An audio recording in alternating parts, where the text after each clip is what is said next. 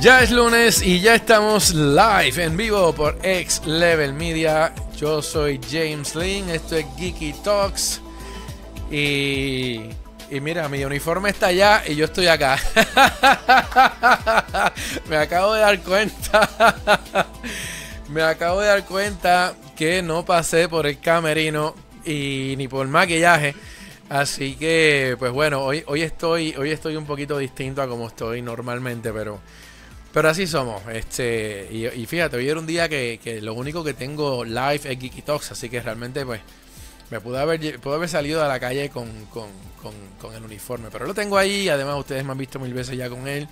Eh, qué bueno que están ahí. Eh, posiblemente, no sé, Rafi Mediavilla andaba. Eh, hoy está lloviendo mucho en nuestra zona en Puerto Rico. Así que Rafi estaba eh, como un, poquito metido en súper tráfico. Yo salí, aunque no lo crean, con hora y media de anticipación para llegar aquí a la emisora porque la cosa se veía rara. Así que, pues por lo menos llegué a tiempo y, y aquí estamos. Bueno, qué bueno que estén ahí. Si están escuchándonos a través de cualquiera de las redes sociales o viéndonos a través de cualquiera de las redes también que son de video y nos están también viendo a través de la televisión, qué bueno que estén ahí. Saben que se pueden comunicar con nosotros durante el programa en cualquier momento. Y la semana pasada, como siempre, se tiró alguien al medio y nos, llamó y lo pudimos eh, entrar a la conversación. Así que si quieres aportar algo y quieres aportarlo, ¿verdad? Para que la gente te vea y te conozca, lo puedes hacer pues por audio, que comunicándote al 787-269-6637. Y si quisieras entrar por video, nos tiras algún mensaje en los comentarios y te enviamos entonces nuestro Skype para que entres a través de Skype. Pero claramente tienes que tener Skype, así que no, no me pidas que quieres entrar y no tienes eh, forma. La forma es por Skype, así que es la, es la que vamos a utilizar aquí. Así que qué bueno que estás ahí, qué bueno que nos estás viendo en este momento. Si estás en radio, muy bien. Si estás a través de alguna telecadena de televisión, ya sea en Europa, ya sea en Latinoamérica, ya sea en los Estados Unidos. Qué bueno que nos acompañas como siempre todos los lunes y que te conectas a XLevel, que toda la semana estamos transmitiendo mucha programación, mucha música, películas y un montón de información interesante entre, entre programa y programa, que tenemos un montón de cosas interesantes por ahí. Estoy llegando a ver si el que me está gritando por acá es Rafi. No, no es él. Tengo activado aquí, vamos a, vamos a apagar el volumen de la computadora también por si acaso. Bueno, hoy tenemos eh, un, esto es un popurrí de información, porque esta, esta semana pasaron muchas cosas eh, que me, interesan, ¿verdad? comentarlas con ustedes y, me quiero ir por, temas light primero. Así que estoy buscando aquí una, una nota de, de Apple. Todos los días tenemos que terminar hablando algo de Apple, pero no, no es de ningún equipo. es eh, que por ahí vienen nuevos emojis de, Apple. Eh, y entonces me pareció muy interesante porque la semana pasada fue, eh, se dio, ¿verdad? El Día Nacional de los Emojis. Y en este caso estamos viendo una serie de, esto claramente son notas que publican otras personas, pero para, para eso están ellos, para, para que trabajen para nosotros. Así que aquí tenemos, eh, aquí, sí, es que es real, cuando yo he trabajado en medios de comunicación grandes y pues, pues como hay buenos salarios y te dan todo el tiempo de la vida y mucha gente trabajando, pues tú te encargas de una nota, tú de dos, tú de tres y, chévere, pero yo me encargo de demasiadas cosas, así que por eso te traigo cosas que, a lo mejor tú no leíste, pero son interesantes. Así que esto de que Apple tiene nuevos emojis y que vienen próximamente este año me pareció interesante, pero eh, hay emojis aquí que no sé, porque yo creo que ya hay gente que tiene acceso a, varios o se han estado probando por ahí. Porque ese que tiene la mano así agarradita, que es la que dice la mano italiana, cuando si estuvieras maldiciendo a lo italiano, eh, pues es, es, un emoji bastante popular. ¿Qué estás diciendo? Pues es que de verdad que hay que ver qué que, podemos comunicar con esto, porque la gente, la gente se inventa varias cosas. Yo puedo inventarme cosas con ese emoji también, porque todo el mundo, todo el mundo, una cosa es la intención del emoji y otro es el significado que le damos en la cultura popular. Así que por eso es que yo creo que los emojis de los vegetales y las frutas los van a banear casi todos, porque la gente se ha inventado cuánto significado hay con todo lo que trae.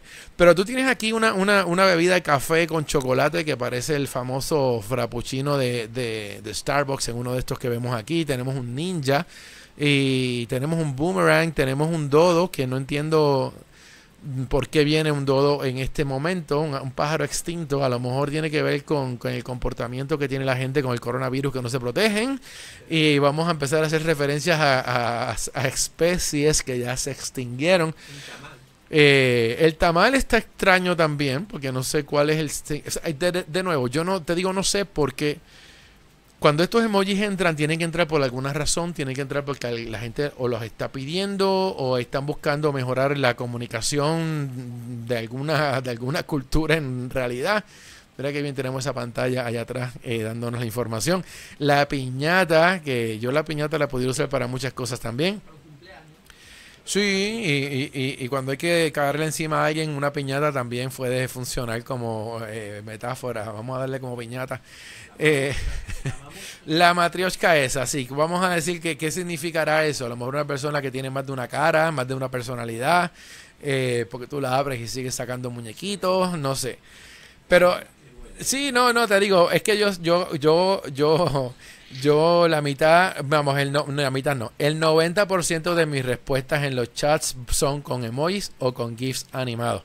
Así que yo hablo mucho utilizando estas, estas imágenes porque se, se me hace mucho más rápido que escribir y porque a veces una imagen como esta comunica más que lo que yo quisiera decir. Y a veces también está cool tirar un mensaje que se vaya abierto y que cada cual lo interprete de acuerdo a, su a la información que tenga, ¿no? Pero el, corazón y los pulmones también me pareció interesante cuál es, cuál es la necesidad específica que podemos utilizar para utilizar esos emojis. Y y bueno, a mí me gustaba, siempre me ha gustado el, el, Yo prefería, bueno, lo que pasa es que soy old school, la comunicación con lo que eran los emoticons. No, los emoticons, sí, los emoticons. Que eh, eh, era, era, eran emoticons, como se le decían, sí, sí. Que lo hacías con los caracteres del teclado. Y ya, tenías que tener bastante imaginación y tenías que ser bastante correcto con lo que ibas a decir. Y todos tienen unos significados bien directos, así. Eh, ya con esto es muy ilustrativo, es demasiado, o sea, me gustaba más el concepto de jeroglífico en la pared, que me daba un emoticon, a, mira la fotito de la lámina que te tengo aquí de un libro. Eh, pero una cosa que la gente tiene que estar eh, consciente con esto, es que estos son, esto se crea a base de un estándar. Por lo tanto, una vez están aquí, en algún momento dado van a estar disponibles para las demás plataformas. Una de las, de las cosas que en sus inicios molestaba mucho es yo tener un iPhone, enviar un, emoji y que la persona que tuviera Android viera otra cosa o no lo viera. Y que pasaba igual en, viceversa. Me llegaban unos, unos mensajes raros y no sabía lo que era. Eh, pero todo este tipo de comunicación también funciona con un estándar. Por lo tanto, pues eh, en algún momento dado tendremos acceso a, todos por todos lados. Igual me pasaba con Facebook. Algunos de Facebook que no estaban al momento disponibles dentro de la, variedad que tienen que tú los encontrabas en tu teléfono y no estaban en Facebook, pronto se están acomodando, inclusive cada compañía le da su saborcito, así que Facebook no se ve igual que quizás lo veo en el iPhone o no se ve en otro, y es que eso para mí normalmente es un problema. Eh, y yo que manejo redes sociales, pues a veces me pasa que, que tengo, eh, tengo aplicaciones que pueden integrar emojis y no todos tampoco están incluidos dentro de las aplicaciones que utilizo, así que es un poquito más complicado manejar esto, pero bueno, el que celebre el National Emoji Day. A mí me llegaron cosas de varias marcas del tema, pero la semana pasada estuvo demasiado concurrida dentro de lo que yo estaba haciendo y sí quería hacer algo que tuviera que ver con eso. Eh, vamos a ver si el año que viene me invento algo, porque hay muchas celebraciones que tienen que ver con lo que yo hago, que es internet, redes sociales, que nunca las, nunca las trabajamos. Hasta para, para Social Media Day deberíamos hacer algo aquí en X Level especial. Eh, integrar varias cositas. Sí, hacer una programación especial que tenga que ver con eso. Y, pero falta un año, que eso es el 30 de junio. Así que los que estemos el año que viene vivos, pues vamos a estar. Sí, porque esto, esto, esto, esto se ha puesto. El meme del día hoy es que nos acordemos de que la película Mad Max estaba eh, enmarcada en el 2021. Así que eh, eso es como que para que nos preparemos un poquito para esto, pero digo, Mad Max y otras películas, porque yo vi un montón de películas de ciencia ficción muy interesantes. Había una, creo que fue a finales de los años 80, eh, a principios de los 90, donde lo que, lo que la humanidad em, necesitaba, el líquido más eh, preciado en ese momento y más valioso era el agua. Y en esa película salían tablets y salían cosas que tenemos hoy día que, que, en aquel momento yo las veía en una película y las encontraba totalmente mágicas y totalmente imposibles y son realidad en lo que estamos viendo hoy. Así que de lo que es cine como ese, yo prefiero todo lo que es ciencia ficción eh, tecnológicos, pero no los problemas eh, de vivir en los planetas sin agua y en estos mundos extraños. Y hablando, hablando, ya que estoy hablando de eso, yo no quería tocar ese tema inmediatamente, pero eh, hoy creo que fue o fue en este fin de semana que salió una cápsula eh, de, los países árabes, déjame estar seguro cuál de todos eh, es, donde la cápsula sale a Marte. Entonces básicamente lo que va a hacer son unas pruebas como tal. Aquí tengo la información, déjame ponerla aquí rapidito. Porque pues próximamente los Estados Unidos lo van a hacer y no son los únicos tampoco, ya son varias naciones que están en el proceso o grupo de que están los Emiratos Árabes desde Japón envió esto. Eh, y esto lo que va a estar es em, eh, estudiando la atmósfera y los cambios durante un año en Marte. O sea que va a estar orbitando Marte durante un año de los marcianos, porque el año marciano creo que son como dos años de, de acá, de, nuestro planeta. Son como 600 y pico de días. Eh, y se tarda como quiera. O sea, salió en este fin de semana. Va a llegar en febrero. Eh, son, son como seis meses de viaje para llegar allá. Eh, que por eso yo decía que la, cuarentena es el entrenamiento para que los humanos puedan viajar y estar encerrados seis meses eh, hacia, hacia un sitio como, como lo es Marte. Y en ese caso, pues me parece, me parece interesante que, que todas las, que, que hayan diferentes iniciativas pensando en esta, en esta búsqueda que yo espero que no estén compitiendo, sino que estén utilizando sus conocimientos para luego compartirlos entre todos los que están eh, pensando llegar a, crear esta colonia humana en, en Marte, que, que, fue algo, es que cuando uno ve esto en libros, que después los libros se convirtieron en películas que estamos viendo desde los 70, 80 para acá, pues me parece una cosa bien interesante y, y, y cómo se espera que esto pueda ser una oportunidad para avances específicos de la raza humana, que no, no, yo no le veo todavía el avance de destruir este planeta para colonizar otro. Así que eh, yo pienso que sí, me interesa la, exploración espacial toda la vida, pero tenemos que bregar con lo que tenemos aquí porque de aquí es que sale todo el mundo. Así que esa es una, una de las... De la, de los puntos interesantes, pero vamos, vamos a estudiar qué está pasando allá, que yo creo que es una cosa importante, que todo el mundo debería tener también este conocimiento y, y aprovechar quizás, o aprender, a lo mejor quién sabe si habían humanos allá y tenemos que aprender de lo que pasó aquí. Quizás se encuentran a John Carter por allá o qué sé yo. eh, who, who knows, quién sabe. Porque aún, aún yo viendo que han enviado eh, sondas ya y que tenemos varios eh, drones caminando por allí en Marte. Aquí me tiraron un mensaje que no lo puedo leer bien porque no lo veo, pero... No el libro War of the World. War of the World no, War of the World es otra cosa porque esos fueron, esos vinieron para acá. Sí, esos vinieron para acá. Deja ver si puedo lograr capturar. Necesito una pantalla grande aquí se quita para poder mirar eh, los mensajes de todo el mundo. Bueno, ya se fue, ya no se, no se puede poner de nuevo, ¿verdad? No. Ok, pues vamos a... sí, tíralo por ahí, vamos a verlo, vamos a verlo otra vez, a ver cuál era el mensaje. Eh, pero anyway, me parece, me parece, me parece bueno que se esté haciendo la exploración, que se vea ahora que es real. Eh, y que bueno, que todo eso que hablan de viajes turísticos a la atmósfera arriba, a la estratosfera, a donde sea, y todos los viajes hacia la luna, eh, son para financiar esto. Yo, yo espero, yo espero tener la oportunidad de llegar por lo menos a la luna, como turista, no como, como, como astronauta. Este, yo iría como, como youtuber. si quieren que yo documente mi experiencia. Pero fuera de ahí, pues yo creo que, que, que, que no, no, no que se pueda dar, porque tú sabes que, la gente, eh, mientras no se el libro, ah, ya eso lo fue exactamente. No, no, el libro de World of the World fue al revés, fue llegando para acá y yo creo que en este momento están la invasión en este momento sería peor por el, por el virus que está ahora, que tampoco el virus lo aguantamos nosotros. Yo creo extraterrestres menos todavía. No, es que War of the War una cosa, el que no ha visto la película, bueno, yo vi la película vieja, la vieja, vieja, vieja, sí, y la pude ver, la pude ver en un cine de barrio, que, que también me pareció muy interesante, me, crea, me creó una impresión bastante grande ver esa película cuando la vi, yo era un nene, yo era un nene, este, pero, y, entonces inclusive cuando vi la de ahora no me acordaba ni, ni busqué información.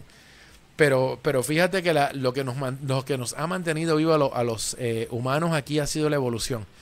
Que ese fue el problema de World of the Worlds. ellos ellos no, no estuvieron presentes durante la evolución, así que no podían hacer lo que, lo que intentaron hacer. Em, pero quién sabe, quién sabe. Yo, yo sí pienso que, que hay mucha cosa extraña pasando en el mundo hace tiempo. Y, y me, me, pregunto a veces, ¿verdad? En algunas épocas donde se han visto muchos eh, avistamientos de naves espaciales, en otras que no se han visto, si realmente pues son naves o son cosas extrañas o no existen. Hoy, hoy pasaron otro meme raro que hablaba de, de, de Egipto y sus pirámides. Entonces te estaban enseñando imágenes de, de los jeroglíficos. Déjame ver si encuentro una aquí en la computadora. Sí, porque el tema, el tema, de nuevo, nada de esto, todo esto es ficción, ¿ok? No piensen exacto. Ahí estamos viendo la versión. Esa fue el tráiler de la nueva, de la última que estaba Tom Cruise ahí. Oye, creaba mucha tensión esa película. Yo creo que la hicieron muy bien. Esa parte sí me gustó porque la película causaba mucha tensión. Pero pues científicamente yo creo que hace mucha lógica la forma en que terminó la, la película porque pues... Eh, y de nuevo, yo no, yo no me acordaba de la historia, así que yo no sabía cómo iban a resolver esto. Pero mira, esta, esta, esta imagen que tengo aquí, que, que estaba en mi Facebook, tú ves esta piedra con una huella humana y ves el pie que estás viendo, que es un pie normal. Ves esta otra donde estamos viendo eh, estos seres agarrando, eh, agarrando unos obeliscos. Y mira el obelisco aquí, pero mira el tamaño del obelisco y mira el tamaño de los seres. Entonces, cuando ves estos dibujos de las pirámides agarrando piedras, pero te das cuenta que las piedras de las pirámides, mira el tamaño que son en cuanto a un humano, pues te pones a pensar, habrá sido gente súper grande o súper gigante que existieron en el planeta y fueron los que estuvieron a cargo de toda esta construcción. Esta imagen de la jirafa me parece también bien interesante.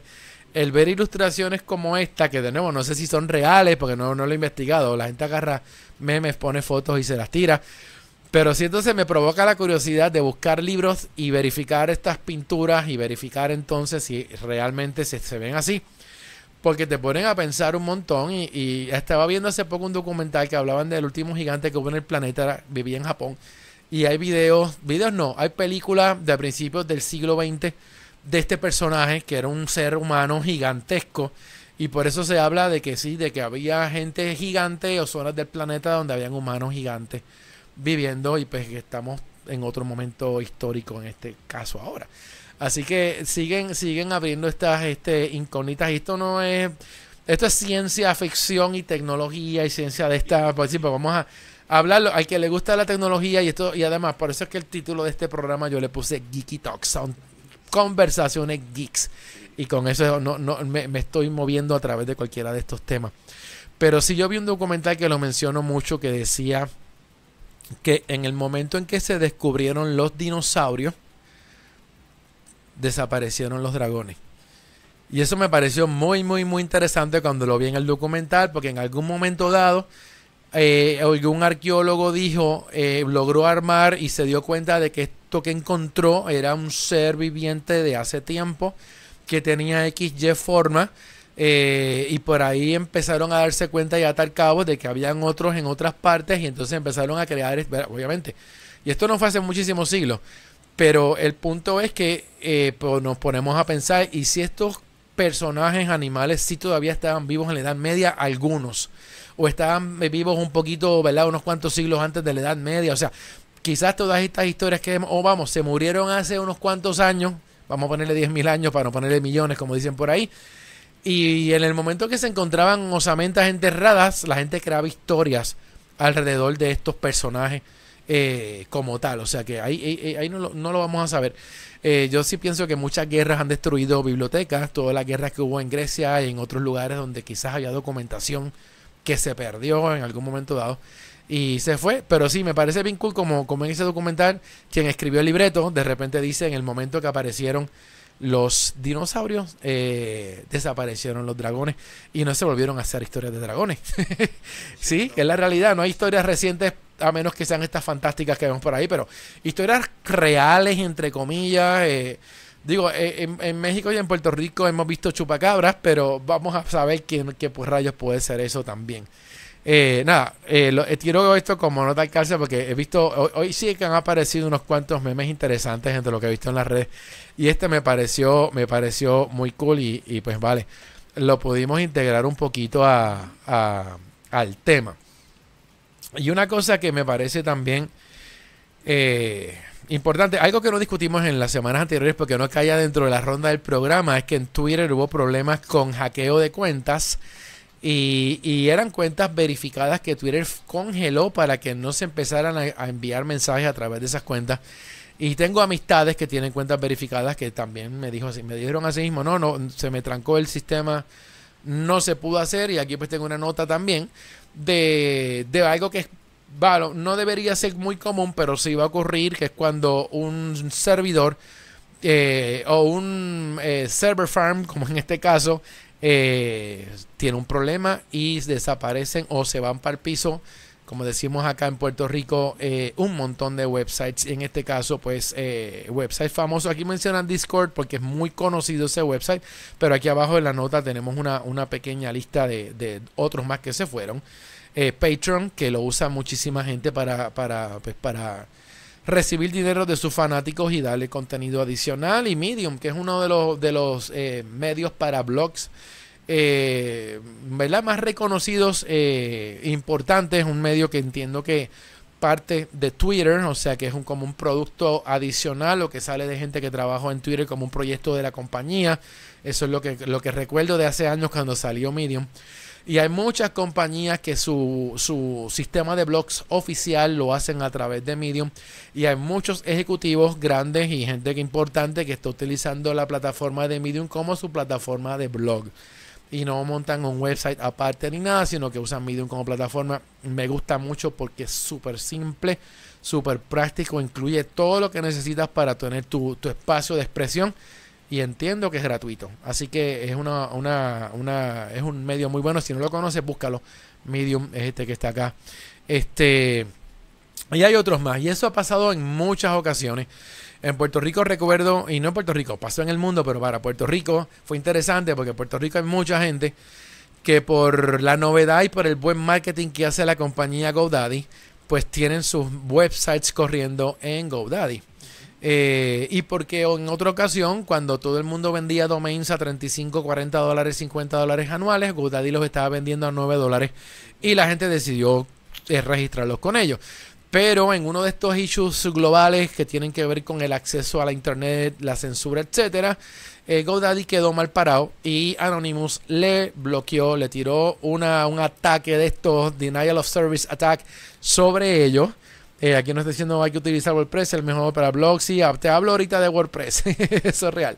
Este, gracias Giovanni por tu comentario. Este, vamos a, vamos a, vamos a brincar para WordPress ahora.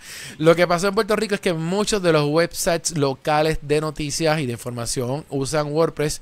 Digo, usan GoDaddy en WordPress también, by the way.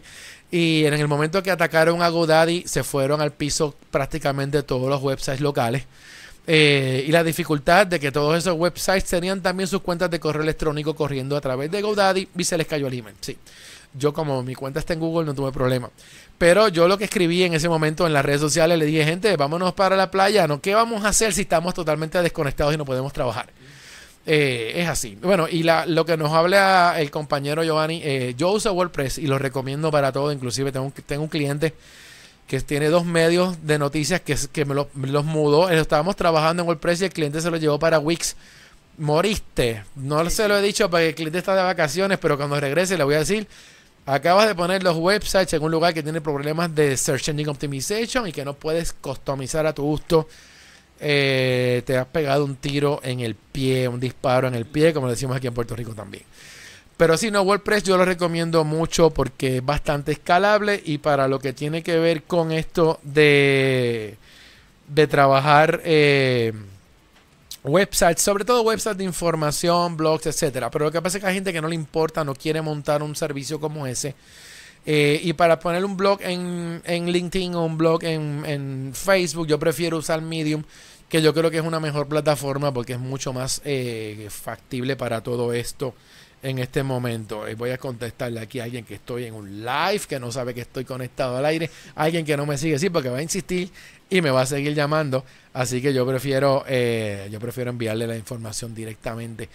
Eh, así que no, sí, me alegro mucho por tu contribución. Sí, WordPress, y en algún momento dado quizás podemos tocar ese tema de, de, plataformas como tal y, especializarnos un poquito en una conversación como, como esa. Pero bueno, eh, la ventaja de nuevo es que, pues, eh, digo, la desventaja y la ventaja es que, pues, estos tipos de problemas hay ya maneras en que se pueden arreglar. Y pues miren, hay que, hay que tener en cuenta de que se puede, esto puede pasar en cualquier momento con cualquier servicio, incluyendo Google, incluyendo Facebook, cualquiera. Nadie, nadie está exento de tener un problema y en este caso pues tenemos que estar pensando en que esa es una posibilidad real. Eh, así que yo cuando manejo mis clientes de web siempre les digo que eso puede pasar. Y cuando pasa, les digo, es esperar porque nadie tiene control más que la compañía que te suple el servicio. Y a veces no es ni siquiera esa compañía, estamos corriendo a través de una red interconectada.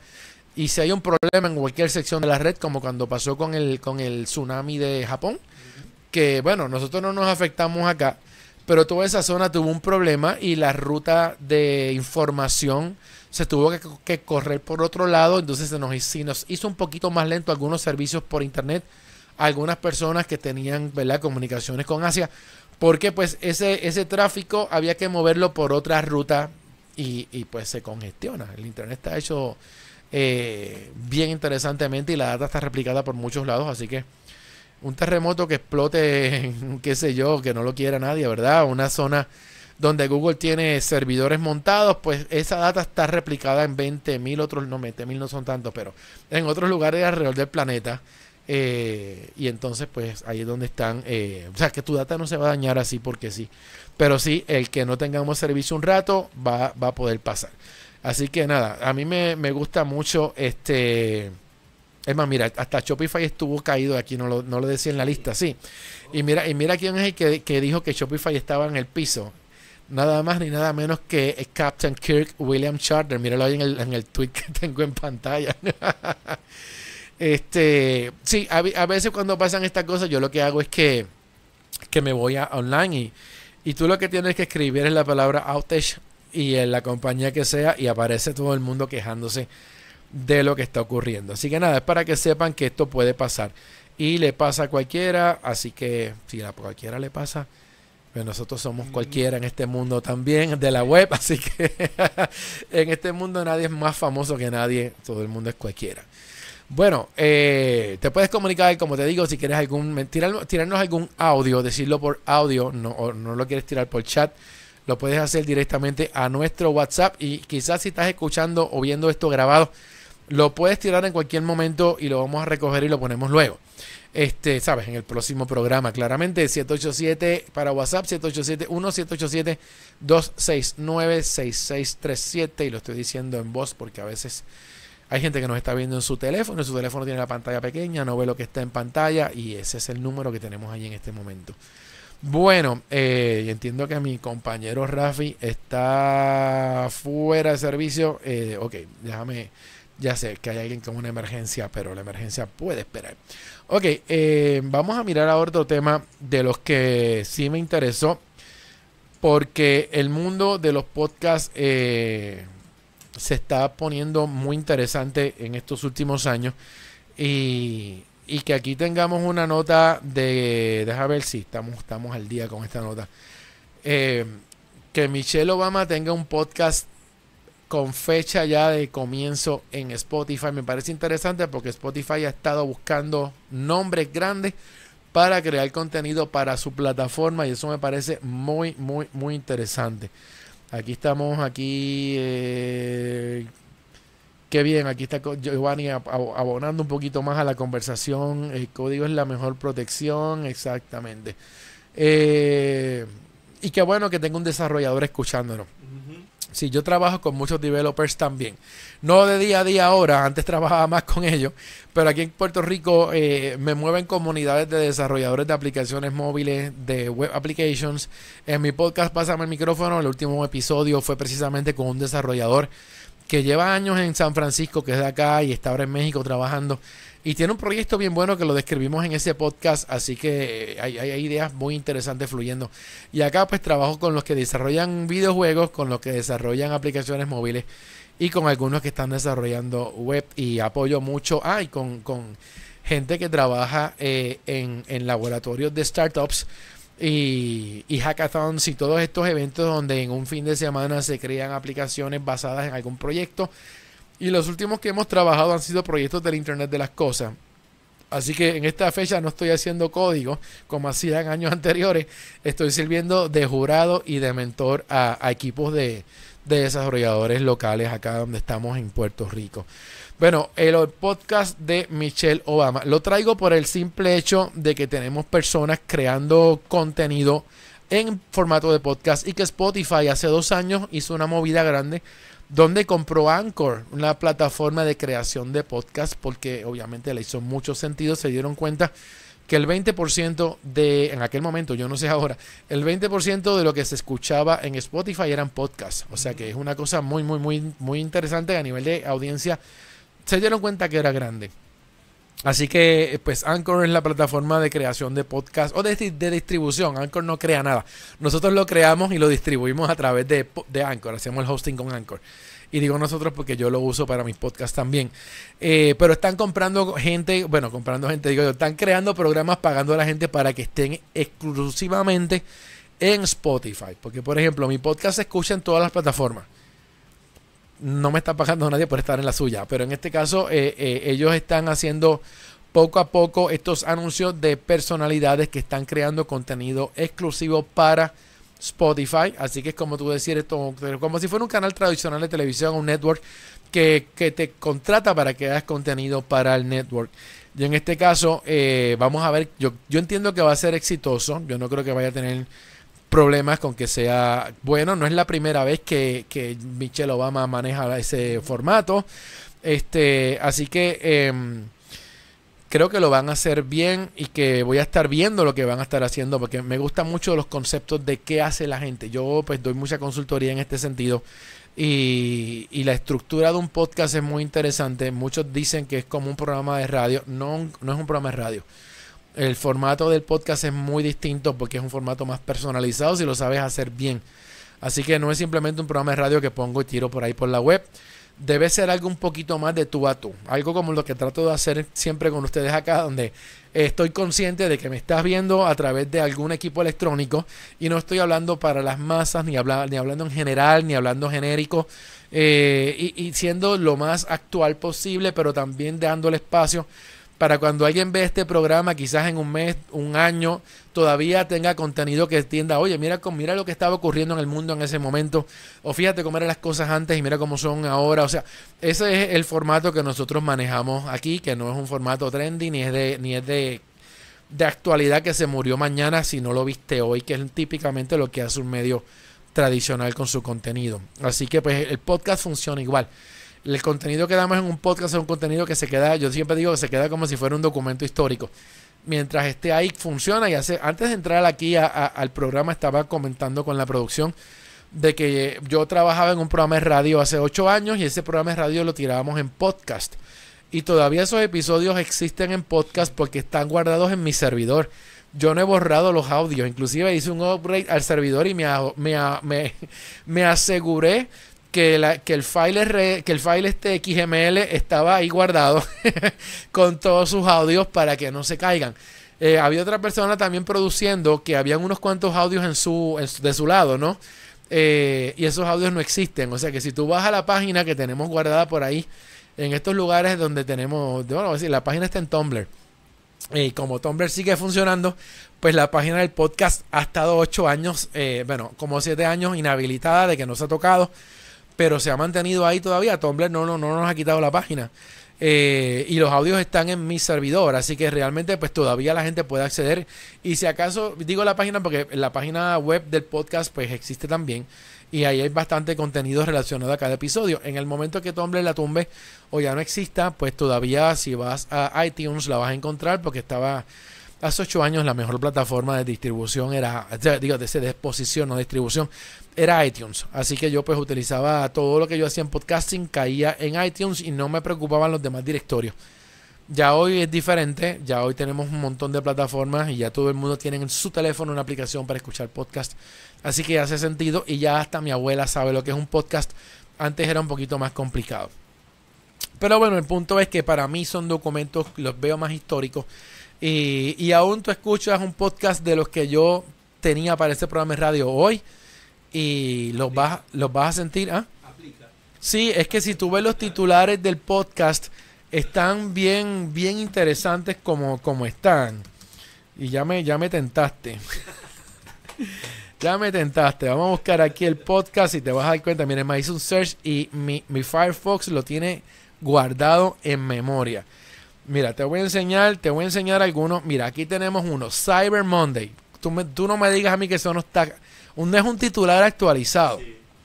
Como estamos hablando aquí de todo lo que tiene que ver con Cyber Monday, hablamos de PayPal, hablamos de consejos útiles para el Cyber Monday, eh, sistema de cuponeo, eh, Retail Me Not, que también es otro sistema de cuponeo. Estamos hablando hace ocho años. Consumer Reports con reseñas de productos y de Wire, bla, bla, bla. Mira, este se llama eh, Social Media Club de Puerto Rico. Yo era, yo era miembro de, de la Junta. Sí, no, es más tiempo. Sí, es que yo, yo me quedo a veces detenido en el tiempo. Aquí estábamos hablando del Social Media Club, que era una, una, una, bueno, un, club, un club que, que yo era también parte de la directiva, donde manejábamos todo. Este programa hablaba de redes sociales y era un programa eh, bastante innovador. Déjame buscarte otro titular para que te rías, porque es que hay unos titulares que están, este, que si los ves son bien actualizados. Mira, en el episodio 48 hablamos de foodies, todos los que comparten comida en las redes sociales, en la época en que eso ni se hacía en Instagram, yo creo. Eh, y aquí tenemos, mira, aquí tenemos varios websites de Puerto Rico que se dedicaban a comida los que estaban más pegados, eh, ¿verdad? Más chinchorrospr.com. Yo creo que si lo doy clic no llego a ningún lado ahora. Mira, vamos a ver. Murió, murió. No, estoy seguro que no llegamos a ningún lado. La gente no tiene consistencia. Mira, Fuditeando es de un amigo mío, de que, se conecta mucho aquí. Mira, se fue para China. Tiene unos símbolos chinos ahí. Eh, el ñaki. El ñaki era un food truck. Muy bueno. Deja ver si el ñaki todavía existe, yo creo. Pero yo puedo pensar, mira, estos no están llegando a ningún lugar. Yo creo que estos no, no, mira, este murió. Chinchorre, no. Esto, bueno, este todavía existe. Tiene un, un directorio, pero no sé si está actualizado, Porque no veo fotos por ningún lado. Así que probablemente esto también murió. Pero es muy interesante. Mira, este dice los adolescentes y las redes sociales, cómo las utilizan. Son, si son titulares que los escuchas hoy, claro, esto es una perspectiva de esa época y eran redes sociales de las que había en esa época. Aquí no había TikTok, aquí no había este, Snapchat, aquí no habían cosas que, que ni, siquiera Instagram. Bueno, había Instagram, pero no se usaba, los jóvenes no estaban ahí. Era la, en la época en que habían fotógrafos en Instagram. Sí, sí, es decir, era una red de fotografía que no la tenía ni Facebook. Era portfolio. Sí, sí, era portfolio fotográfico, claramente. Este, noticias de la semana, eh, eh, conductas obsesivas y adictos a las redes sociales. O sea, nuestros temas eran unos temas, mira, política también. Nuestros temas eran unos temas bien buenos, las aplicaciones y memes de la, en esa época. Y tenemos aquí temas que tienen que ver cuentas falsas en Twitter, que hoy con la política, la semana pasada estaba yo dando una consultoría identificando cuentas falsas de Puerto Rico, que las, las elecciones son ahora. Mira, sí, identificando todas las cuentas falsas que están escribiendo eh, a favor, en contra de varios como tal. Mira, la llegada del nuevo MySpace fue uno de los temas que discutimos en ese momento. O sea que, nada, lo que quiero, porque si no yo sigo hablando de mi podcast, de mi... Eh, es interesante eh, el, concepto de, de, lo que les estoy hablando, porque si yo no hubiese, si no hubiésemos estado guardando esto, mire, Pinterest como estrategia de negocio, que me parece muy interesante como, como pues todo eso lo había en ese momento, que es un community manager. Para el que no sabe, hoy todavía la gente no sabe qué es eso. Este eventos de marcas como tal, los mitos y realidades sobre las políticas de uso de Twitter y Facebook, que eran en ese momento las dos redes más eh, importantes y Twitter era la red de, de opinión como la es hoy, activismo político en las redes sociales y traemos expertos que tienen que ver con ese tema mamás y papás blogueros, otro tema de los que tocamos en esa época, compras en grupo, y esto es Groupons, los, todos todo lo que, los sites estos de comprar en grupo que hay por ahí. Este, aquí fue cuando estrenamos el podcast por primera vez. Y en este caso, pues eh, hablamos de concursos en Facebook. El punto es que este, este contenido todavía está accesible y, y, últimamente me han encontrado a mí posts de mis redes sociales y de mi página viejo, porque hay gente que está haciendo investigaciones y me, y me encuentran, me encuentran por ahí me lo, me lo dicen. Así que nada, el punto es que es muy, el podcasting es muy importante en este momento histórico. En el, en el mundo de lo que estamos viviendo hoy, que es pandemia, hay mucha gente que ha encontrado esto. Inclusive para el podcast que yo estoy creando, eh, que se llama Pasar el micrófono, los últimos productos que he sacado han sido uno que se llama el shout out. De lo que hago es que hablo de tres podcasts semanalmente que me interesan, que me gustan y que quiero que la gente conozca. Porque hay tanto que ver dentro de lo que es este mundo del podcast que es difícil. Demasiadas cosas que, que, podemos encontrar y que no hay tiempo para verlas todas. Así que hay que buscar ayuda de alguien que nos ponga un filtro y nos diga si te gusta este tema, este podcast te funciona, si te gusta este tema, este otro te funciona. Y todavía las aplicaciones de podcast, salvo algunas, eh, no todas, te dan, eh, te hacen un buen filtro Aquí me están tirando en video. Te hacen un buen filtro de sugerencias. Si te escuchas este podcast, escuchas este, deberías conocer este, deberías conocer este otro. Aquí me están saludando de España. Estamos por, estamos por dónde estamos aquí, por este. Sí, pero ¿de, ¿de dónde? Ah, por el Tu Live. Sí, que tenemos varios lives corriendo y saludos a los que nos están escuchando. Qué bueno que están ahí. Eh, y se les, se les valora que estén ahí con nosotros. Bueno, si ustedes no han hecho un podcast en su vida o no saben qué es eso, me están viviendo debajo de una piedra. El que tenga alguna pregunta sobre el tema también me la puede hacer. Yo doy conferencias y yo doy mucho coaching a podcasts y en Puerto Rico hay unos cuantos podcasts que estoy manejando también y que ayudo a que se muevan. Así que, pues, mano, Michelle, Obama está ya en el mundo del podcasting y va a estar en el mundo del podcasting recibiendo dinero porque tener un contrato con Spotify no es poca cosa. Spotify paga muy bien. Así que eh, hacia eso se quiere mover toda la gente que crea contenido. Y como yo le digo a mucha gente que está en este mundo, no busques el spotlight cuando no te toca todavía. Tú comienzas tu proyecto en línea dedícale tiempo, eh, hazlo por la gente que te sigue, por eso yo hago también este programa, que las oportunidades van a empezar a llegar solitas, eh, porque tu trabajo es el que te va a, cargar. Así que no puedes cruzar, eh, ¿verdad? Este, cruzar el río antes de llegar al puente, porque te vas a ahogar en el intento. Bueno. Oye, el programa de hoy se ha ido bastante bueno y bastante ángel, así que Está, está bien interesante eh, eso. Eh, estaba mirando ahora, hablando de que estábamos con Instagram, los podcasts y estos temas de ganar dinero con nuestro contenido, viendo eh, este nuevo invento que espero que no se estrelle, que es una aplicación que esto no es esto es interesante porque esto es una tendencia que estoy viendo y, y la noticia pues que tengo es de Google que está creando lo que es una eh, aplicación de videocompras como si fuera un telemarketing channel para influencers. Así que, y, te lo digo aquí en la producción que lo estoy mirando ahora, porque ayer estaba yo eh, con unos desarrolladores de una plataforma de streaming y estábamos hablando de que Amazon tiene esto también, que yo no lo había visto, y esto es como tenerle la cadena QVC al, en tus manos. Porque tú lo que vas a hacer es un canal de ventas de productos utilizando video. Y este específicamente lo estoy tirando por, por encimita, pero esto es básicamente cómo tú puedes tener tu propio canal donde la gente puede encontrar tus productos y cómo lo puedes vender también. Y yo creo que es una tendencia bastante interesante. Yo creo que claramente esto, esto Facebook lo quiere integrar dentro de Instagram a su manera. No es que sea igual. Eh, pero en este caso, eh, pues tú puedes darle clic aquí a un botón, que es lo mismo que te toca en Facebook, y tú pues tienes que llenar un formulario. Y con este formulario eh, se sabrá si tú cualificas o no cualificas para, para esto. Así que yo lo voy a llenar a ver qué me contestan. Pues mira, si me contestan me busco algo que vender. Pero, sí, no, yo tenía una, yo tenía una idea. Lo que pasa es que yo quiero, yo obviamente yo quiero tratar de, atar mis cosas a productos de tecnología, pero no encuentro buenos suplidores que yo confíe en sus productos para venderlos. Así que quiero ver si puedo crear alguna línea de cinco cosas o productos tecnológicos que yo pueda ofrecer que hagan sentido eh, y que sean de utilidad.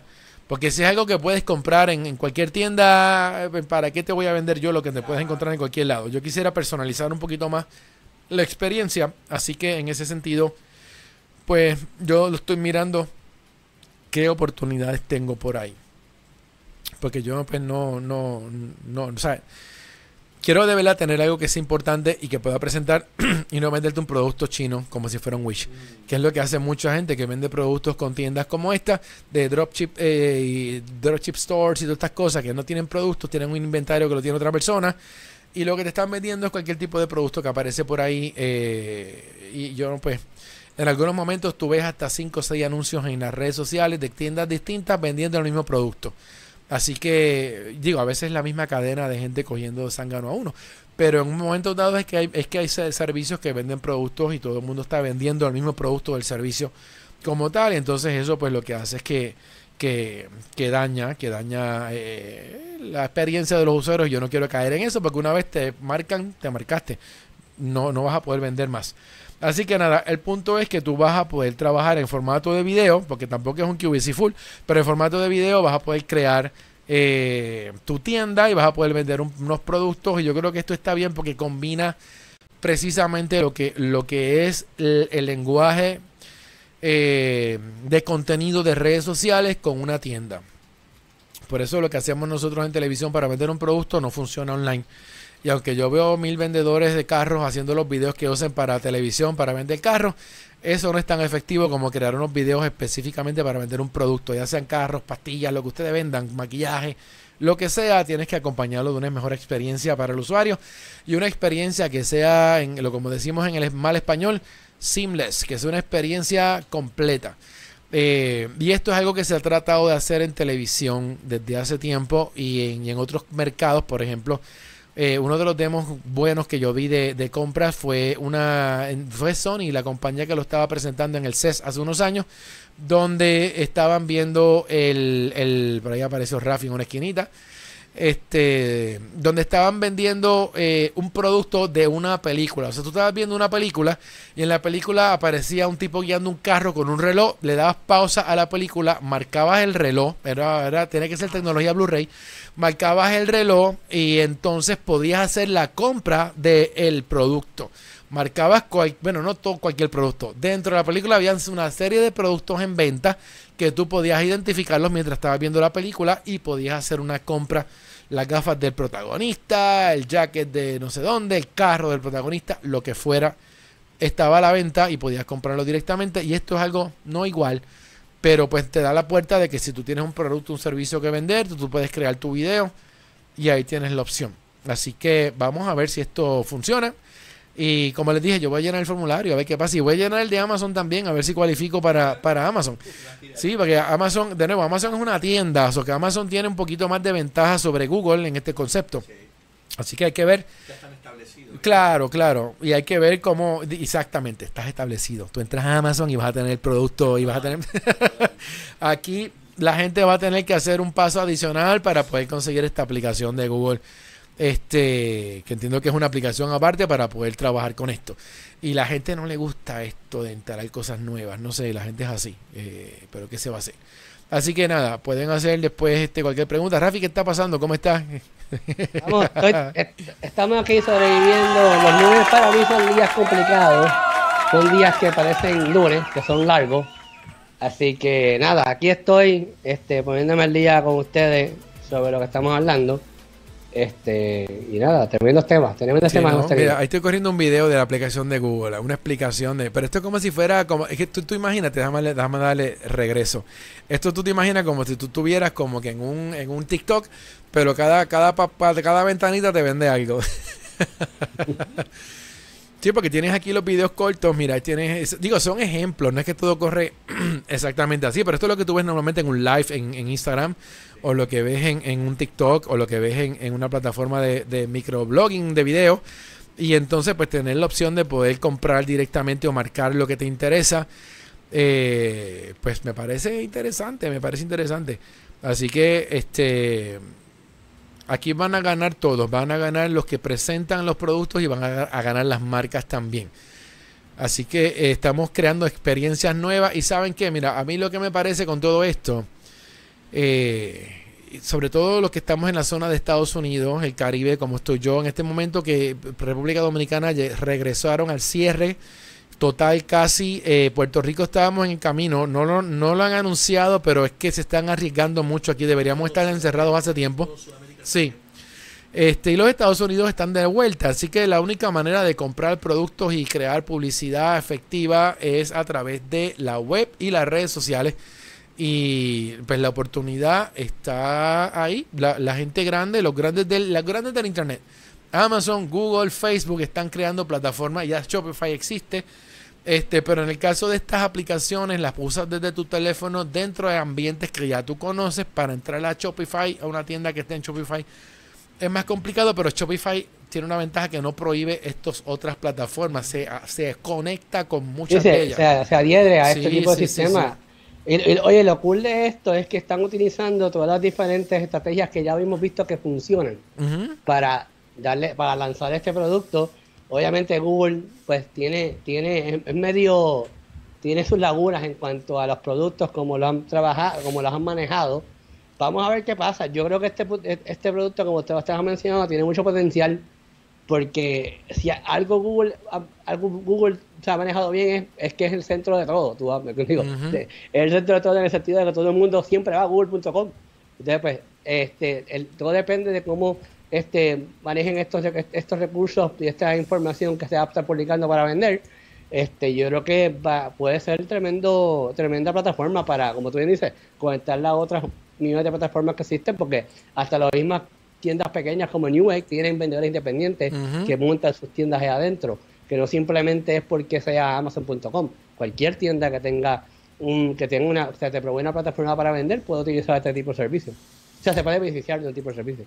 Sí, y cuando alguien tiene productos para vender en línea, normalmente se monta en todas las plataformas posibles que pueda. Trata de coger una, eh, pero realmente puedes moverte a, a todas. Yo digo Shopify porque es súper conveniente y la puedes integrar a Facebook directamente y Facebook tiene un acuerdo ya todavía para que la integración sea mejor y si estás integrada a Facebook eh, Instagram está en la misma línea así que eso eso es una, una ventaja hay que ver qué, qué, se puede hacer con esta con esto de Google y verificar entonces un poquito más el, el, el plan a largo plazo y ver cuál será la aceptación de la gente que yo creo que esa es la parte crítica de de todo esto, el punto de cómo, cómo la gente, tú abres un centro comercial y buscas que la gente llegue al centro comercial. Es ver cómo yo a la gente a que entre aquí al centro comercial de Google y encuentre el contenido, eh, porque yo creo que, digo, sabes que estos creadores le pueden dar publicidad desde cualquier otra de las redes y mover gente al contenido, así que eso puede ser una de las opciones para para atraer. oye, y también tenemos que tomar en consideración que ahora mismo es el mejor momento para lanzar una cosa como esta, un, producto como este, un app, como este. O sea, como tú bien dijiste, ya obviamente estás, ya el República Dominicana hizo shutdown, Estados Unidos no sé qué espera para hacer shutdown, Puerto Rico se, están dando su riesgo, otros en Argentina siguen, siguen el shutdown. So, eh, este, eh, yo creo que nos tenemos que acostumbrar, es muy triste, pero nos tenemos que acostumbrar a esta nueva realidad donde podemos ver donde pues la, eh, la nueva norma va a ser esto. Muchas personas van a estar trabajando en sus casas, muchas personas ni se pueden mover. Eh, eso ya va a ser la nueva normalidad, eso es algo que va a estar en los job description de ahora adelante. You need to work from home, tienes que tener los recursos en tu casa para poder aceptar ese trabajo. Y pues, qué mejor, o sea, qué mejor manera, Facebook lo ha hecho los pasados tres meses, capitalizar en toda esta situación que está viendo, tirando sus productos para que la gente los pruebe y les dé duro para ver si funciona o no funciona. Lo mismo va a pasar con esto. Yo creo que Loop y de Google se presta para lo mismo. La gente está en sus casas, no puede salir al mall, hay que buscar una manera de que estos productos le lleguen a ellos de manera eficiente, que funcione y que sea fácil también de, comprar. Yo creo que, como tú dijiste, yo creo que la mezcla también del marketplace de Facebook, la mezcla de Shopify, de todas estas diferentes plataformas con este sistema, que Google es el monstruo de agregar todas estas diferentes plataformas, puedo que, you know, puede que este sea un producto que tiene mucho, tiene mucho, tiene mucho, te promete, promete. Y bueno, vamos a ver cuánto cuánto le cuesta la transacción a cada vendedor, etcétera, bla, bla, bla, porque... Esto, oye, esto eh, más que nada, yo, le, yo digo que quizá eBay, eBay está peleando con una cosa como esta, a menos que eBay se, se integre a la aplicación. eBay lo que tiene que hacer es una manera como esta, como lo que está haciendo Amazon. Una manera más simple de que influencers, por decir un nombre, eh, vendan. ¿Sabes? Que no solamente. Sí, porque eBay. O sea, mira, para que te rías. Yo cuando pienso en eBay, pienso en, en Star Wars, este, Phantom Menace, En el, en el marketplace. en- donde este, estaba Anakin chiquito trabajando, que es sí, este pulguero de gente rara. las cosas para venderlas. Sí. Correcto. Lo que pienso es en un pulguero raro y no lo Sí. veo como un lugar, eh, como si fuera un centro comercial de lujo ni nada de estas No, y cosas. oye, y todavía es la hora, y yo estoy totalmente de acuerdo contigo, todavía es la hora que eBay no lo usa todo el mundo. O sea, yo uso eBay todo el tiempo. Yo compro Por eso, eBay, porque no- no es- no es un- no es- aunque- lugar, porque pues primero todos, los, todos los demás, todos los- ahora mismo con la situación que estamos viendo, como eBay lo manejan personas, pues eh, estamos viendo que las personas están siendo más responsables y más receptivas y más, eh, eh, más, eh, más están, están trabajando el proceso de empaque y shipping más rápido que una compañía grande como Amazon. Que Amazon está teniendo mega problemas con todo para shipear hasta lo más importante, sea, lo esencial. So, eh, you know, yo sé que eBay siempre se mueve, se mueve muy bien, no todo el mundo compra en eBay, gente regular, you know, gente común eh, que no va a comprar eBay porque se siente inseguro de cómo funciona la aplicación. Y como tú dices, yo creo que si ellos la adaptan un poquito a como la que está haciendo Amazon, pues quizás you know, pues más personas estén más receptivas a utilizar la aplicación, utilizar la plataforma y comprar por eBay. Sí, Yo ma, yo diría, mira, que, que eBay se quede como es eBay. Que la compañía saque un producto especializado para que yo pueda Mm. vender lo que tengo en, en mi tienda de, de eBay, pero de otra manera un poquito diferente. Y yo, pues mira, hace años que no compro en eBay. Este, sí, es la realidad, hace años que, que no compro en eBay, para mí es un eBay espectacular. Pero Rafi es un, es un eBay junkie. A- a- Rafi No, está comprando en eBay y traficando, porque Rafi, compra, vende, hace de todo. No, por eso yo compro y vendo en eBay y, y las cosas que yo compro en eBay las consigo a unos precios exorbitantemente baratísimos comparados con lo que tú puedes conseguir en Amazon o en cualquier lugar. Yo todavía soy fanático de los bits. Ya eso no es, no es- no hay mucha gente que lo, que lo hace. Que haga subasta, que no Pero- hacen subasta. La gente la tiene de tienda, no, subasta, no hay mucha subasta por ahí.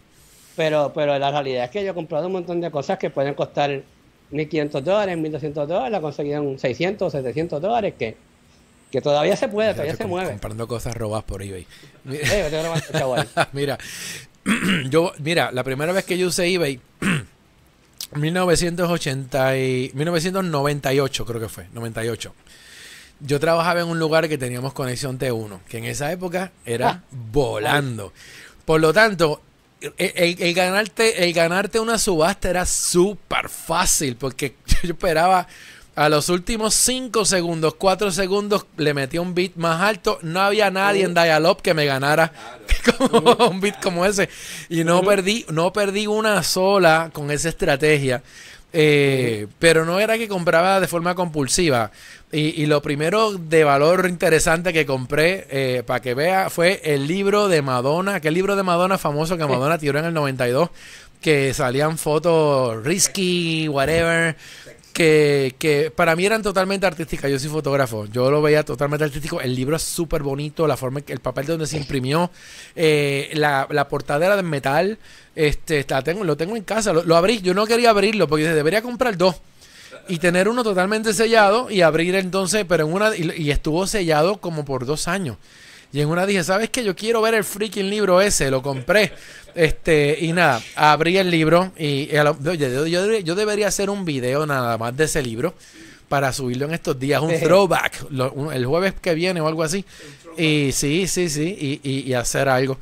Este, lo voy a pensar, ya que lo dije aquí al aire, lo voy a pensar. Este, porque nada, eh, fueron esas, yo digo, no, para mí iba a ir a encontrar cosas extrañas que hacía tiempo que yo estaba buscando y no sabía dónde comprarlas. Era como tú encontrar ese pawn shop especial o ese pulguero extraño o haber llegado a un- a una venta de garaje a frente a tu casa eh, o en, un- en donde sea, ¿no? Donde tú llegas y te bajas y te encuentras cosas curiosas y así lo veía. Pero ya hace años eBay es el, el- el- el- el centro de ventas ah, por mayor, eh, de mercado negro, de, de invéntatelas. O sea, ahí tú puedes encontrar piezas para lo que sea. Eh, y hablando de memes, los memes más interesantes que he visto últimamente de eBay son de los mecánicos quejándose de que ah, cotizan un producto, un proyecto de arreglo de un carro y, y llega la persona y le contesta, mira, yo compro la pieza por eBay, ¿cuánto me cobras si la compro por eBay? Claro. Eso es así.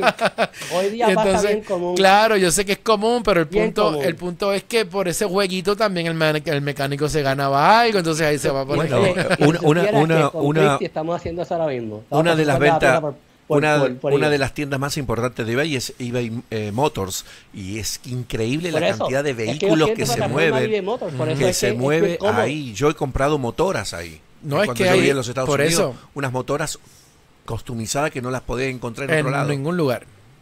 Sí, por eso. O sea, la plataforma se ha especializado de una manera increíble. Y uno puede encontrar cualquier cosa y lo que tú no encontrabas en un lugar de pieza en tu país o en tu ciudad, lo podías encontrar en eBay quizás a un mejor precio.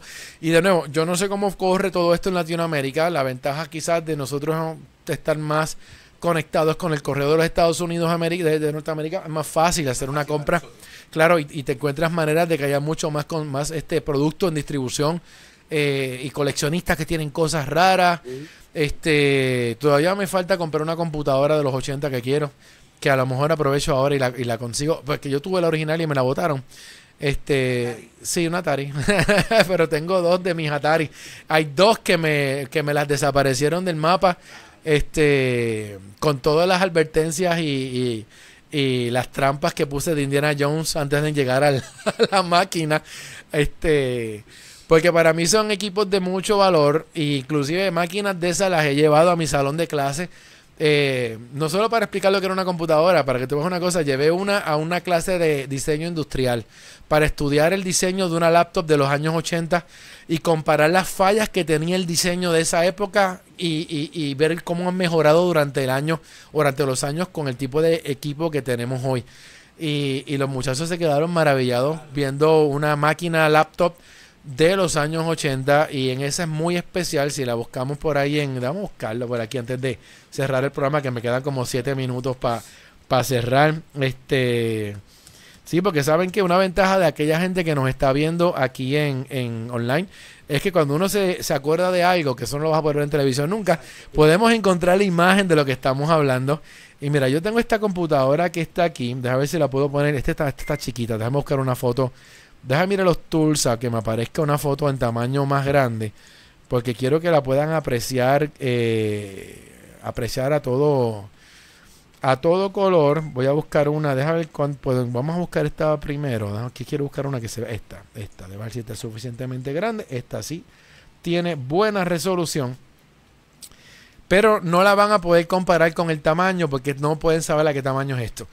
Eh, esta máquina es es una Atari Stacy. La Atari Stacy es una máquina que se produjo y se utilizó por muchos músicos en los años 80, incluyendo Fleetwood Mac eh, e incluyendo otros artistas famosos. Herbie Hancock también usaba Atari y, y, más eh, Fatboy Slim, el DJ usaba Atari también para trabajar. Inclusive tenían una Atari de estas en el año 2000. Si vas a NTV Crips, eh, lo, ves a él usando la Atari todavía para crear.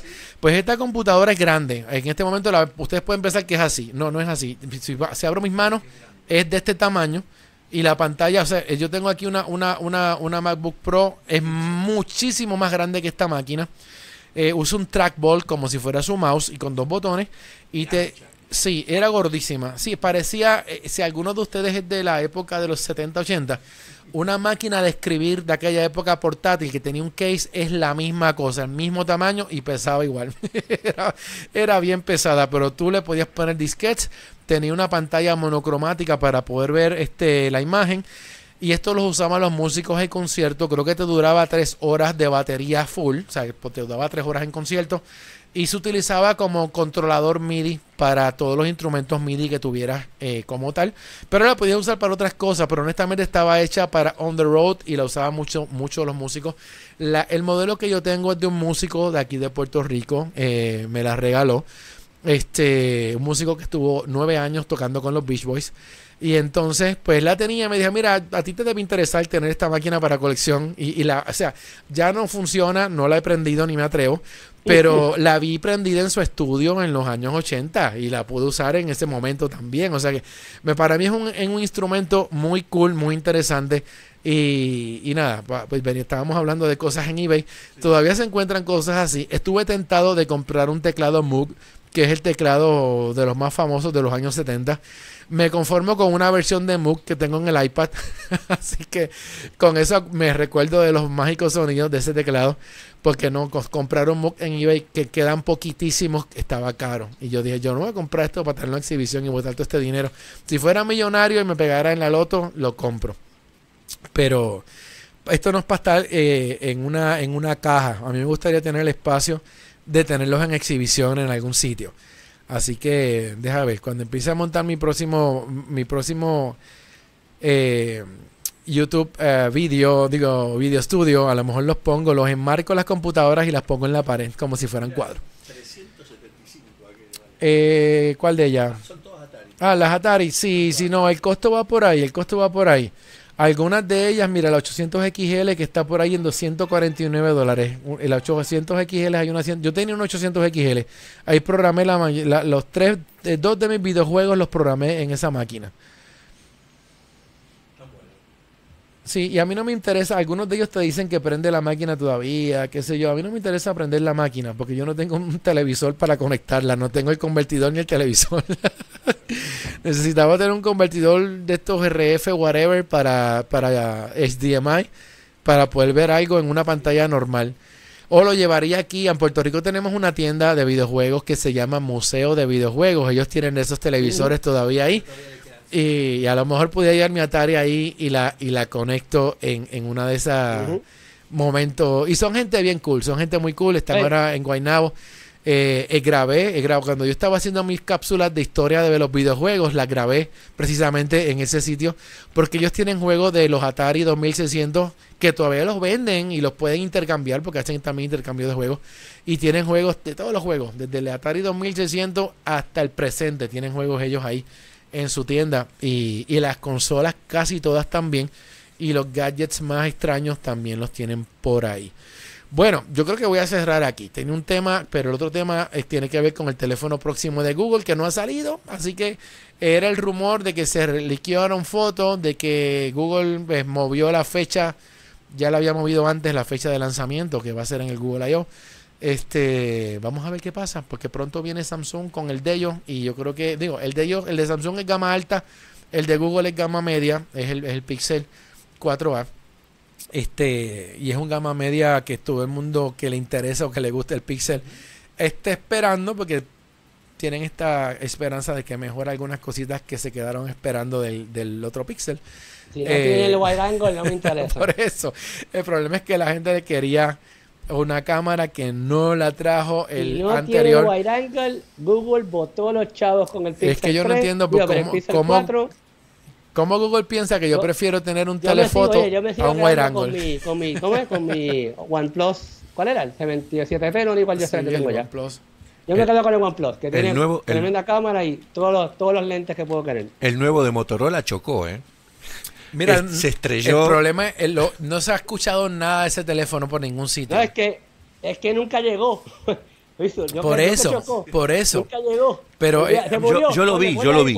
Yo lo vi y no lo pudieron vender. Y, tengo amigos en México que, le hicieron review y todo eso y, y todos criticaron el precio y la calidad. Es que no te puedes, mira, Motorola estaba adoleciendo de calidad en sus unidades y de que eran muy lentos los últimos que yo probé los podías utilizar como teléfono y quizás moderadamente como cámara, que es lo que la gente está buscando. Porque el, sistema, para que las fotos me empezaran a salir movidas, era como que, ok, e, e, este software no está funcionando como la compañía lo está vendiendo. Y, y, el otro que era con módulos, se me olvida siempre el nombre, este, los módulos eran lentísimos, reaccionaban muy lento, era caro, cada módulo costaba 500 dólares. O sea, tu teléfono cuesta 400 y le va a pegar un módulo de cámara de 500 dólares.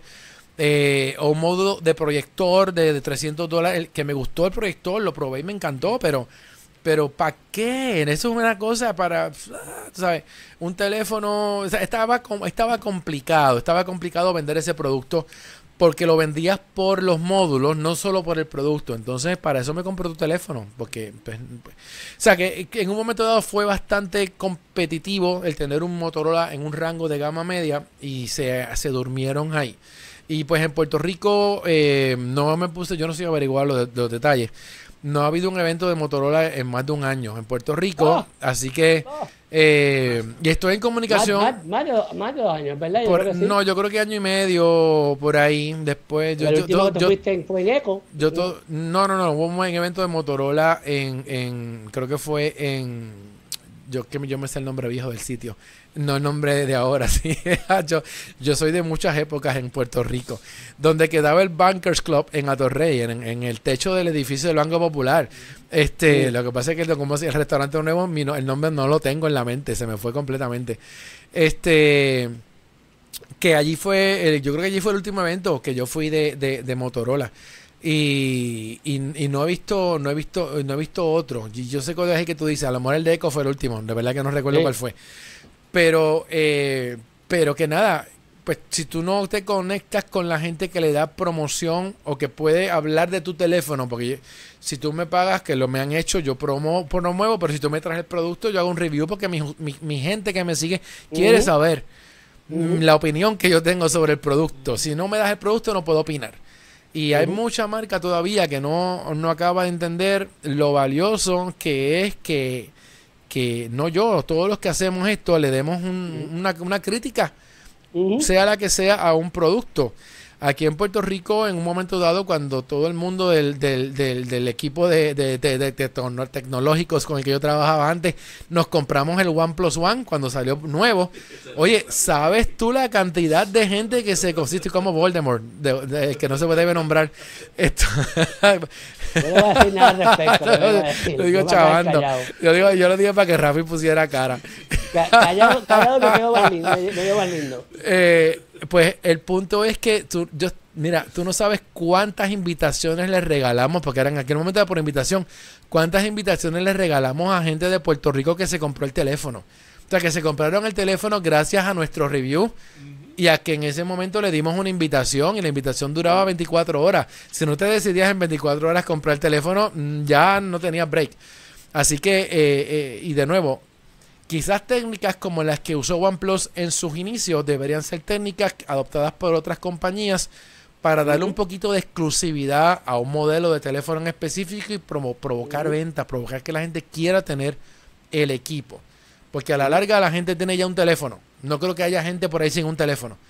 Cuando sale uno nuevo, tú tienes que tomar la decisión si voy a dejar este por el nuevo, si voy a hacer el upgrade eh, o qué vas a hacer.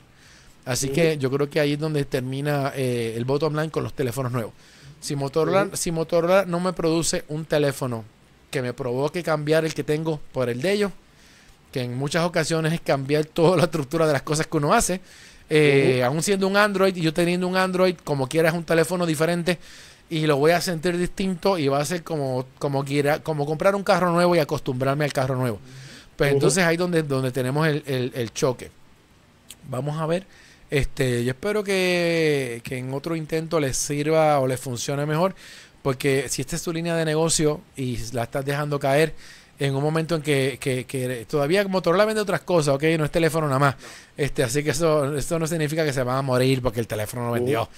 Pero, eh, pero era un, era un buen momento, un, o sea, un momento, un momento. El teléfono, los teléfonos son un buen lugar donde darle exposición a tu marca de que la gente siga hablando de tu marca, no importa dónde esté metida. Pasa que fueron muy mezquinos a la hora de construir el teléfono, porque comparando lo que había en el mercado, ellos se quedaron muy atrás. ya con los píxeles de cámara, ahí ya se quedaron atrás, sabiendo que hoy por hoy las personas están comprando más que nada un teléfono por la calidad que toman su fotografía y sus videos, ¿no? Pues el, el problema de todo esto, la gente está comprando una cámara, no está comprando un teléfono. No, correcto. Así que eso, eso, eso, eso es algo que, bueno, siempre lo decimos. los, todos los keynotes de teléfono hace ocho, no, ancho, yo no. Quizás cinco o seis años para acá, todos, todos lo que enfatizan es la cámara.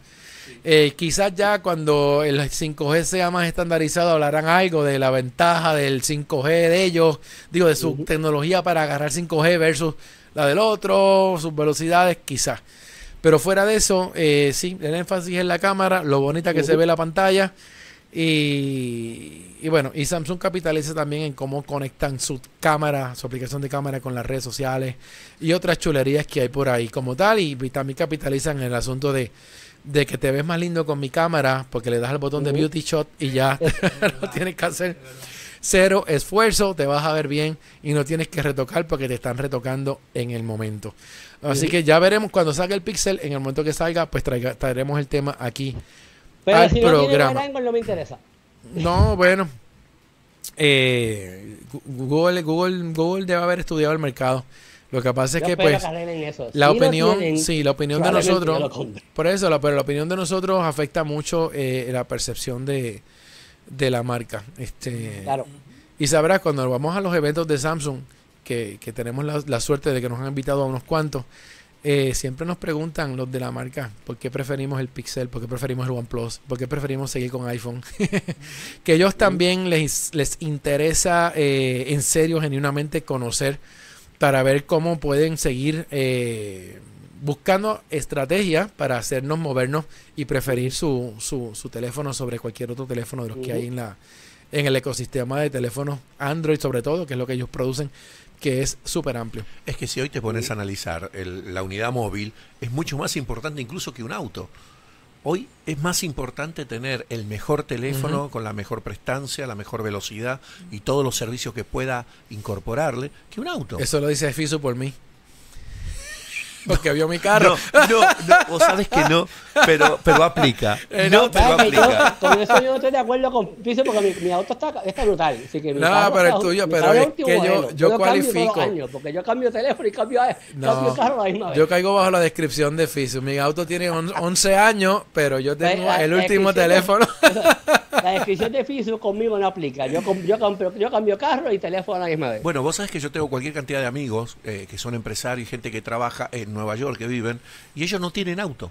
Ah, pero es que no pero tienen los mejores tienen los mejores teléfonos, los mejores eh, ¿cómo se dice? periféricos se dice, ¿no es mm, cierto? Sí, periferales. Eh, entonces, este, pero en eso ellos están en lo último. Sí, sí, están en lo último. Bueno, lo que pasa es que para mí, para Rafi, para otras personas, esto es una herramienta de trabajo, esto no es un juguete. Entonces, pues necesitamos tener el mejor.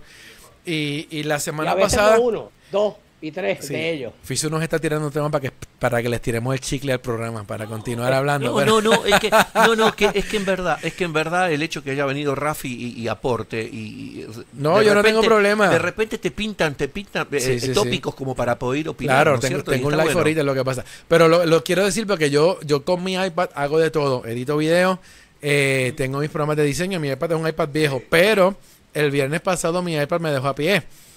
Porque estaba corriendo un live desde el iPad y suerte que ah, yo, sí, cuando lo comencé, todo el mundo entra 15 minutos antes para probar. Pero en el momento en que entraron ya habían cuatro personas conectadas al sistema, el iPad empezó a flaquear. Y yo pensé que era que ellos tenían mala conectividad. No, es que el iPad se estaba cayendo. Así que resolví con el teléfono. La plataforma la puede resolver. Puede resolver todo con el teléfono y apagué el iPad. Pero ya me di cuenta que debo considerar un iPad Pro porque si quiero jugar con estas cosas que estoy jugando ahora, voy a tener que comprar un iPad Pro y yo no quería todavía, todavía no quería comprar un iPad Pro. Yo quería esperar a algo un poquito más de lo que Apple está sacando y yo creo que me voy a tener que tirar con la maroma del iPad Pro 11, que es el, modelo que me interesa a mí. Ojo que Windows Surface está muy bueno. Sí, pero lo que pasa es que en Windows Surface no está el software que yo uso. Entonces ahí donde... ¿Y qué pasa? Es, el mismo tema con, con por qué yo no estoy usando Android y sigo usando iPhone.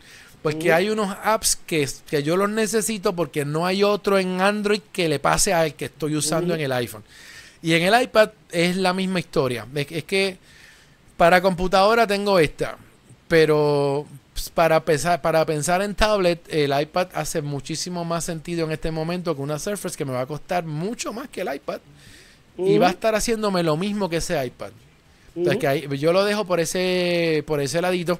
Y entonces la, la, la, la, cereza o la cherry arriba es que mi resto de equipos es Apple y el ecosistema pega. O sea, hace un ratito el que me llamó me preguntó algo que copié de la computadora, lo que me pidió, se lo pegué aquí en el mensaje y se lo envié esa conveniencia Surface me la tumba. Entonces ya tendría un equipo ajeno. O sea, yo usaría una Surface para temas muy específicos. Sí, la compatibilidad no, es, no es tan precisa no, como no, no. puede ser Apple. ¿no? He, considerado desde que la pandemia comenzó comprar una desktop Windows.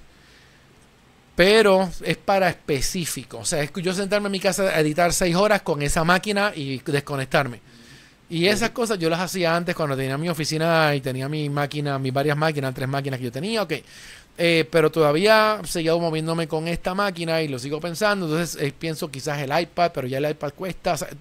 tengo un reguero mental increíble. So, que estoy esperando a ver cuál va a ser mi próximo proyecto que me requiera la necesidad extrema de tener equipo y ahí entonces el proyecto eh, subsidia en la inversión, que es lo que normalmente yo, yo hago. Sí, sí, eso es que eh, hace más sentido. A mí no me gusta comprar cosas para engavetarlas o que no le vaya a sacar el potencial que realmente tiene. Así que por ese lado, pues, eh, por ejemplo, yo compré mi dron y el dron yo le saqué el dinero en menos nada. Hice cuatro trabajos y, en menos de, en el segundo proyecto ya le había sacado el dinero al dron, pero no estoy vendiendo servicios de volar dron. Así que el dron mío lleva unos cuantos meses en una caja. No me he ido, y, cuando llegó la pandemia todavía peor. Bueno, hablando de dron, ahora DJI ha sacado un modelo nuevo, chiquitito, que Buenísimo. vale 100 dólares nada más y que cumple las mismas prestancias que un dron grande. Para lo que para lo que yo hago, son esos tipos de drones me funcionan el tener un dron más grande es para otra cosa, porque yo quiero llegar a un lugar, una actividad, soltar el dron, grabar un poco de aéreo, agarrarlo en la mano, meterlo en el bulto y seguir tranquilo. Entonces no es planificación, la tengo que levantar acá, cuidado con la gente. Es ideal para colorear. Cualquier cosa que uno haga con eso es espectacular. Sí, son todos esos tiros de protección que uno hace de, como videógrafo o hacer un, un dolly con el dron, que yo los he hecho. Totalmente. Que no es que estoy volando aéreo, es que quiero pasar la cámara, que me persiga alguien que esté caminando de lado o sea, son otras. Lo que me costaría alquilar un dolly de cine con la cámara, lo puedo hacer con un dron y la gente no está aprovechando eso porque no piensa. Hay, como tres dolly ahí. yo sé. Probablemente lo que hace ese dolly lo hago yo con el dron. con el dron se hace, por eso te digo, Y queda en 4K también o en, lo que tú quieras. Queda bonito. Queda muy lindo. So, este, nada. Esos son otros 20. Bueno, vamos a cerrar, Rafi, vamos a cerrar. Te dimos, te dimos, te dimos el valor de, de, poder compartir con nosotros porque hace falta la conversación. Eh, y que bueno, hace un ratito participaron varias personas de nuestro, de nuestro programa también a través de, del chat, que no sé por dónde venía, pero venía por algún sitio. Gracias a todos los que están ahí, los que se conectaron desde el principio, los que se fueron conectando hasta ahora. Saben que estamos aquí en X Level Media todos los lunes desde las 4. Ese es nuestro horario que ha sido estudiado y recontraestudiado con el tráfico que recibimos y, que ha sido bueno porque nos entonces que abarcamos una audiencia bastante grande porque en unos lugares se están acostando a dormir, en otros están levantándose, en otros están en pleno día y y oye, yo, creo que. Yo doy cátedra que ese horario está funcionando ahora, pues yo moví el programa que te coloca a las 4 y se está moviendo muy bien. Y como mucha gente le disfruta mucho verlo regrabado, que eso es una cosa que me gusta mucho, pues ya le damos la oportunidad a que cuando llegan a su casa se sientan y le dan para el frente y para atrás a los temas que quieran y se les hace un poquito más fácil también, sobre todo los que están trabajando en este horario. Así que gracias por estar ahí. Si nos viste a través de alguna telecadena de cable, sabes que estamos online, nos puedes encontrar en YouTube o en la página de XLeve, que tenemos todos los episodios ahí. Mucho más fácil si nos buscas por ahí que por pescarnos por YouTube. Este, así que claro, porque todo lo, todo lo que acaba de subir en cuestión de un ratito, ya en 10 minutos está nuestro programa en la página y lo encuentras ahí. Y si nos sigues a través de Facebook, también estamos en Facebook porque pues fomentamos claramente la conversación y queremos que opines. Y si estabas en YouTube también, nos tiras por los comentarios y lo agarramos aquí. Nos vemos entonces el próximo lunes y hasta la próxima. Sigan aquí en sintonía de X Level porque tenemos mucho más para todos ustedes. Bye.